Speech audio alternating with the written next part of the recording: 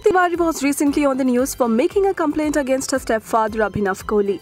Palak's mother and the actor Shweta Tiwari had accused Abhinav of outraging the modesty of her daughter by passing very lewd comments and showing her obscene pictures of models.